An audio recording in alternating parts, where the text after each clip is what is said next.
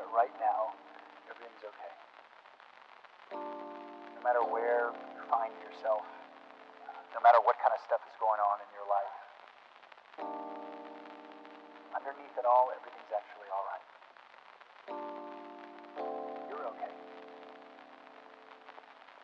You have more power than you might be giving yourself credit for.